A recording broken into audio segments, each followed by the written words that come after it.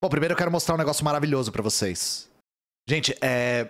Lembra que eu tinha falado na live sobre. Acho que era o Lazy Job, acho que era assim. Que dava pra fazer facinho um gerador de tendência de mercado. Lazy Job. Gente, galera que manja dos computer aí no chat, eu queria pedir um favor pra vocês. Vamos fazer um gerador automático de fala português? Porque assim, é só você pegar um adjetivo e um verbo no gerúndio. Podia ser lazy jobbing, ia dar na mesma. Qualquer adjetivo e qualquer verbo no gerúndio dá uma matéria da exame. Então, se alguém souber fazer isso, pega um banco de dados, um dicionário, pega todos os adjetivos, coloca de um lado, pega todos os verbos no gerúndio, coloca de outro e manda gerar. Beleza, é a revista exame. Fizeram um gerador de tendência de mercado. Igual fala português. E o íconezinho do browser é um alienígena que não dá pra ver. Cara, isso aqui é maravilhoso. o primeiro que eu pego é Only Burnouting. Próxima tendência de mercado, Only Burnouting. É só burnout, cara. Nós tá como? Agile Meeting, Tedious Valuation, Ornate Coworking, Joint Work, Idiotic Valuation, Zany Evaluation. Nossa, que po... Gutural Pitching. Gutural Pitching. Essa aqui é a mais black metal de todas, velho. Gutural Pitching é João Carvalho. Isso aqui é João Carvalho, velho. Eu vou mandar o link para vocês, porque isso aqui é, é, obra de arte, cara. Isso aqui é exame nunca mais vai precisar escrever uma matéria na vida, velho. Pavinato, isso aqui é o pavinato, velho. Gutural Pitching é o pavinato pra caralho, velho. Worldly Job. Ornate Evaluate. Complete Co-work. O Only Burnouting foi o meu favorito. O primeiro foi o melhor de todos, o Only Burnouting. Ah, dá pra trocar só. Agora que eu reparei, dá pra trocar só o adjetivo e só o substantivo. Feeble cowork, menacing cowork, young cowork, zigzag cowork, damaging cowork. Damaging cowork é bom. Damaging budget. Damage quitting. Damage quitting. Damage quitting é quando você. Essa aqui eu gosto, ó. Essa aqui, próxima matéria da exame. Damage qui... Damaging quitting é quando você sai da empresa no momento que você vai fuder ela o máximo possível se você sair. Essa aqui eu gostei. Você espera a empresa precisar o máximo possível de você e aí você sai, sem avisar para ninguém. O que, que, vocês acham dessa? É boa? Fala sério. Essa, vai, essa aqui vira artigo. Tranquil burnout. burnout tranquilo, né? Kosher burnout. Eu nem sei o que é kosher, velho. Kosher, sei lá. Ah, kosher é, é permitido no judaísmo. Pode crer. Nossa. No Islã é halal. Tearful networking. Ai, caralho, essas coisas são muito boas, velho. Bom, mas é, eu tô mostrando isso porque a nossa primeira notícia tem a ver com isso.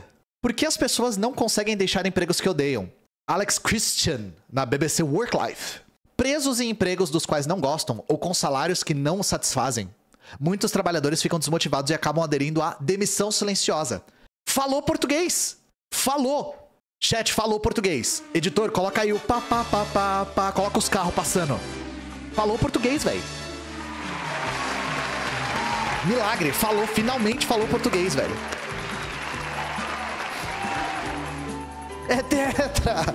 Plot twist, ele realmente falou português. Deixa eu colocar aqui pra, pra leitura. Ele viu meu react, né? Ele viu meu react e acabou falando português. Humano abençoado. As taxas de demissão voluntária estão diminuindo.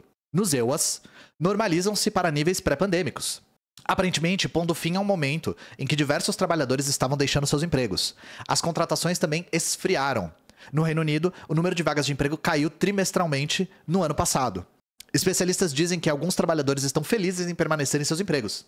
Muitos encontraram novos cargos após repensarem suas carreiras, mas nem todos os trabalhadores ficam nas vagas em que estão por vontade própria. Alguns ainda querem pedir demissão, mas com, com a desaceleração nas contratações e incerteza sobre a economia, eles podem ficar presos em empregos dos quais não gostam no futuro próximo. Eu já vou comentar tudo isso aqui, tá, gente? Só tô lendo pra, pra gente assentar a coisa. Quando o mercado está aquecido, os trabalhadores insatisfeitos podem mais facilmente mudar de emprego ou mudar de setor para encontrar funções das quais gostem mais. Destaque para isso aqui, gente. Vocês viram nessa semana o, o, maluco lá falando acerca de como você precisa ter desemprego para forçar os trabalhadores a, a trabalharem. I think the problem that we've had is that we've, you know, we, we have people decided they didn't really want to work so much anymore through COVID, and that has had a massive issue on productivity. You know, tradies have definitely pulled back on productivity. You know, they, they have been paid, paid a lot to do not too much in the last few years, and we need to see that change. We need to see unemployment rise. Unemployment has to jump 40, 50%, in my view. We need to see pain in the economy. We need to remind people that they work for the employer, not the other way around. I mean, there is a, there's been a systematic change where employees feel the employer is extremely lucky to have them, um, as opposed to the other way around. So it's a dynamic that has to change. We've got to kill that attitude, and that has to come through hurting the economy, which is what the whole global, you know, the, the world is trying to do. The governments around the world are trying to increase unemployment to get that to some sort of normality. And, we're seeing it. I think every employer now is seeing it. I mean, there is definitely massive layoffs going off. People might not be talking about it, but people are definitely laying people off, and we're starting to see less arrogance in the employment market, and that has to continue because that will cascade across the cost balance. Gente, é, não é que a burguesia combate o Marx por ele estar errado. A burguesia combate o Marx porque ele está certo. E sabe quem tem certeza absoluta de que o Marx está certo? Ela própria, a burguesia. A burguesia sabe muito bem que a mais-valia existe. A burguesia sabe muito bem que o exército industrial de reserva existe. Ela sabe. E ela sabe mais do que ninguém. Então, olha só: quando o mercado está aquecido, os trabalhadores insatisfeitos podem mais facilmente mudar de emprego. Você acha que isso é ruim para quem? Você poder mais facilmente exigir empregos melhores é ruim para quem? Então, por que vocês acham que a gente tem esses layoffs, essas demissões em massa? Exato. Se o Marx tivesse errado, a burguesia não ia se incomodar com ele. Abre aspas. Quando as pessoas sentem que não estão no emprego inspirador e veem oportunidade em outros lugares, é provável que procurem satisfazer as suas necessidades profissionais em outra empresa, fecha aspas, afirma Jim Harter, pesquisador de gestão de bem-estar no local de trabalho da consultoria americana Gallup. Já vou comentar, relaxa. Sem perspectiva de serem contratados em outros locais, no entanto, as pessoas na maioria das vezes não têm condição de pedir demissão. Exército Industrial de Reserva. Então, em vez disso, demitem-se silenciosamente. Ou seja, começam a fazer o mínimo possível. Amor de Deus, né? De acordo com dados da Gallup, em junho de 2023, 59% dos 122.516 trabalhadores globais entrevistados dizem que não estão engajados no trabalho. Existem muitas razões para os trabalhadores estarem desmotivados nesse momento, dizem os especialistas. Por um lado, o custo de vida e a estagnação do crescimento salarial significaram que mais funcionários estão insatisfeitos com seus salários. Nossa, precisou de um especialista para isso, né? Os próprios trabalhadores não sabem disso, precisa de um especialista para falar isso. O salário costuma ser o principal motivo para alguém se sentir insatisfeito com o trabalho atual. Você está trabalhando duro, mas seu salário não está aumentando. Ah, jura? E especialista, hein? Explica Nella Richardson, economista-chefe da empresa de RH ADP em Nova York, nos Estados Unidos. Nossa, o cara estudou no pós-doc para descobrir isso. Uma grande parte dos trabalhadores também está presa em empregos com os quais não se importam. O fato de quererem uma nova função, mas não conseguirem, faz com que se sintam frustrados, presos e sem agência. Assim, sem mobilidade no mercado de trabalho, aspas, eles ficam no emprego simplesmente por falta de escolha, e não porque se sentem realizados e motivados pelo seu papel. Afirma Ngari Moyes, gerente do LinkedIn no Reino Unido.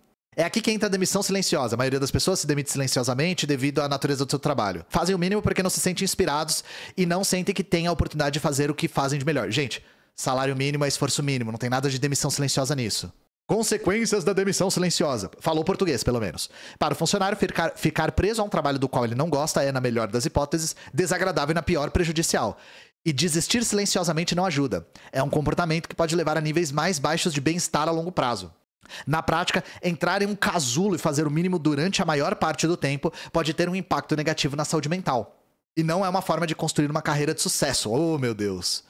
A postura de muitas empresas também agrava o problema. Harter diz que a falta de investimento de uma empresa nos seus trabalhadores muitas vezes leva à demissão silenciosa. Alguns empregadores podem agora pensar que têm maior controle quando os trabalhadores têm menos oportunidades em outros locais. Olha isso aqui, gente.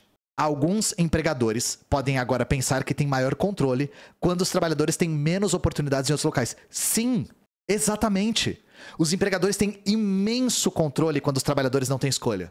Imenso controle. E por isso, os empregadores não se esforçam tanto para inspirar as suas equipes. Gente, vocês estão vendo uma descrição do Exército Industrial de Reserva como se fosse novidade aqui, tá? Como se fosse coisa de grandes especialistas de RH. A empresa não precisa fazer absolutamente nada e a palavra inspirar aqui é ideologia pura, tá? É para conseguir te coagir a fazer o trabalho. No entanto, a questão é um grande problema para as empresas, uma vez que a desmotivação dos trabalhos gera perda de produtividade. Os especialistas dizem que as próprias companhias deveriam ter interesse em engajar seus trabalhadores. Os especialistas dizem que as próprias companhias deveriam ter interesse em engajar. Elas deveriam ter interesse em engajar, gente. Vocês aí, empregadores, deveriam tratar melhor os seus funcionários. Deveriam.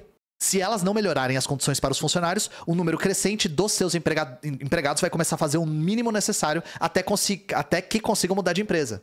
Uma peça desse quebra-cabeça, diz Richardson, é garantir que os trabalhadores se sintam apoiados e priorizados, que haja atenção para a sua saúde mental e qualidade de vida. Ah, basta a empresa dar mais atenção para a saúde mental e qualidade de vida e fazer com que os funcionários se sintam apoiados e priorizados. Fácil, gente. Fácil. É só a empresa tratar o funcionário como um ser humano.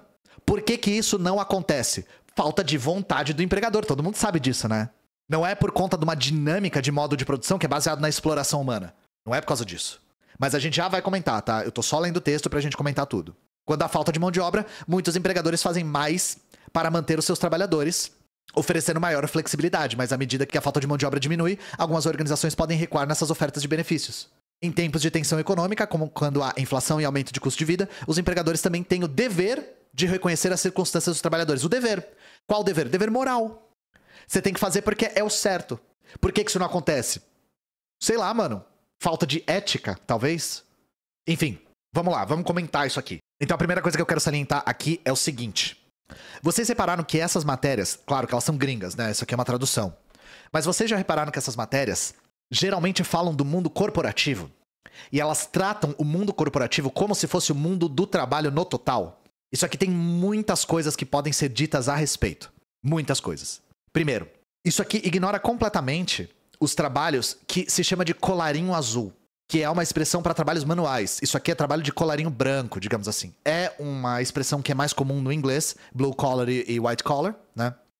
Mas é, isso aqui fala, geralmente, do trabalho corporativo. E existe uma série de razões para isso, né? No centro do capitalismo, as sociedades estão se tornando cada vez mais pós-industriais. E, como o Marx já disse, que as ideias dominantes de uma época são sempre as ideias da classe dominante, isso também é verdade no imperialismo.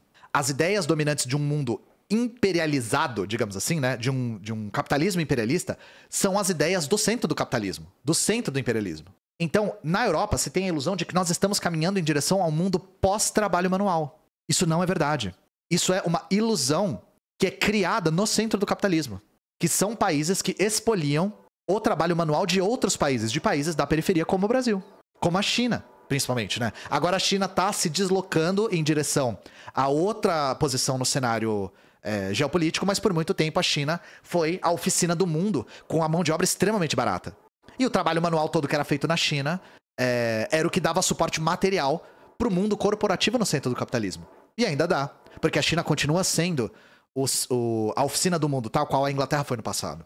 Então, primeira coisa, e aí é, falando um pouco sobre é, essa ideia de pós-trabalho. Nós não estamos caminhando em direção a uma sociedade pós-trabalho manual, gente. Isso não está acontecendo, tá? Isso é pura ideologia. Por que, que essa ideologia consegue se assentar? Primeiro, eu já falei, porque o centro do imperialismo gera a ideologia que é dominante no mundo todo. E esses países têm sim o deslocamento da mão de obra em direção aos serviços, principalmente em corporações. Mas tem uma outra coisa. Em países como o Brasil, por exemplo, nós não temos um exército industrial de reserva para trabalhos de colarinho branco, digamos assim, tão numeroso. Nós temos, mas não é tão numeroso. Então, para convencer as pessoas a trabalharem nesses empregos, que, lembrando, empresa nenhuma te dá emprego, a empresa explora o seu trabalho para lucrar. As empresas precisam do seu trabalho. Se empresa não precisasse de trabalho, ela não contratava, tá? Se as empresas conseguissem lucrar sem o trabalho humano, elas não contratavam humanos. Ela não dá nada para você, ela explora o seu trabalho.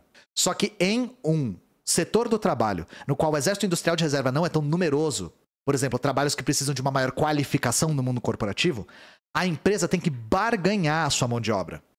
E aí é que a coerção física não é o suficiente, porque em trabalhos de colarinho azul, ou seja, trabalhos manuais, o exército industrial de reserva é tão numeroso que a coerção já é mais do que o suficiente. Trabalha nisso ou você morre de fome. Trabalha nisso ou você morre de fome, ponto final. Não precisa de um aporte da ideologia tão grande. Agora, agora, quando a gente fala de coach, quando a gente fala dessas matérias que a gente brinca do fala português, quando a gente lê esse tipo de coisa, de consultamos especialistas em RH da BBC, isso tudo é o aporte ideológico para conseguir convencer as pessoas a trabalharem no mundo corporativo. Mesma coisa com reduzir a jornada de trabalho para quatro dias no mundo corporativo.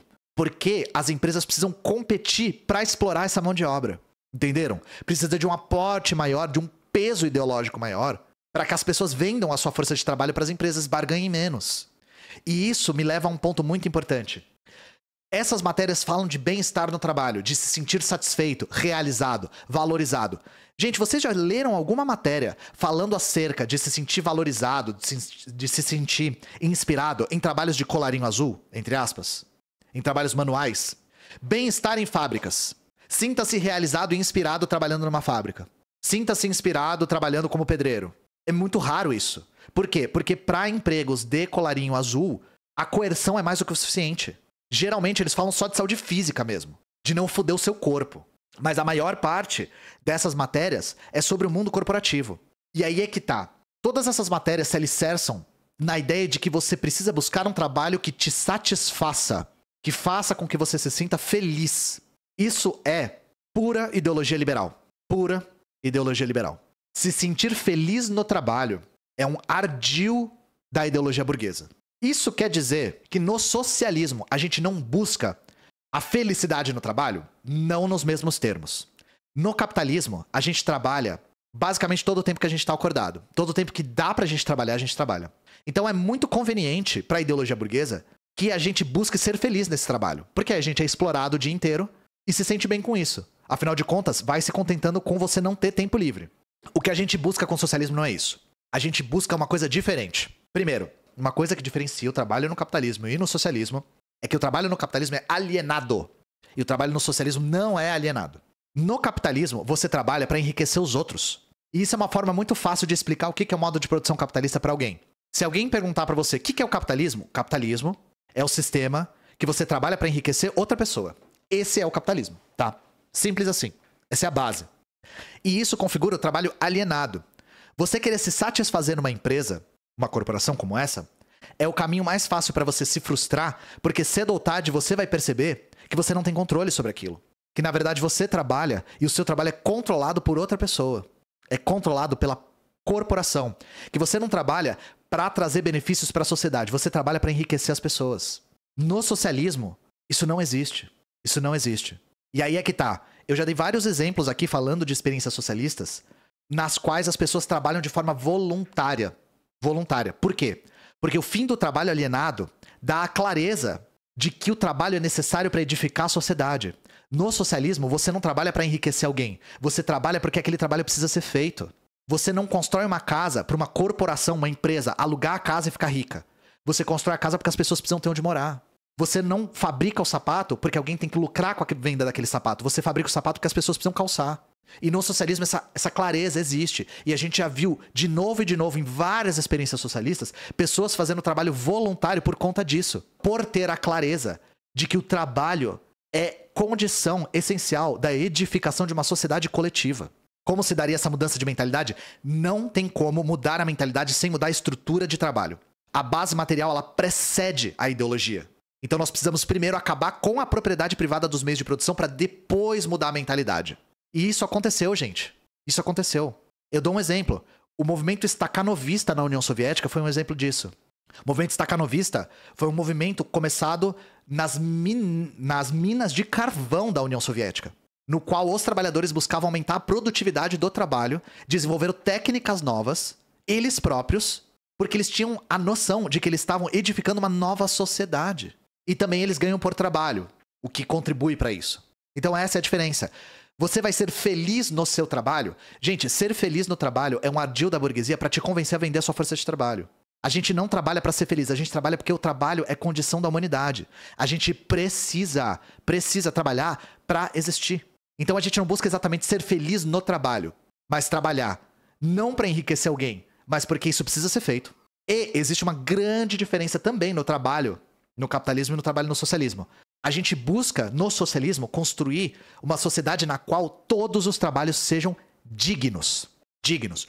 Uma das coisas que faz com que esses artigos não, não abordem muito é, os trabalhos de colarinho azul, os trabalhos manuais, né? É porque existe no capitalismo uma hierarquia de trabalhos. Que é, existem trabalhos que são bons e devem ser buscados, e existem trabalhos que são residuais, são aqueles que ficam para as pessoas que não tiveram opção. Ou seja, se você é um pedreiro, é porque você não teve a capacidade de ser um analista de sistemas.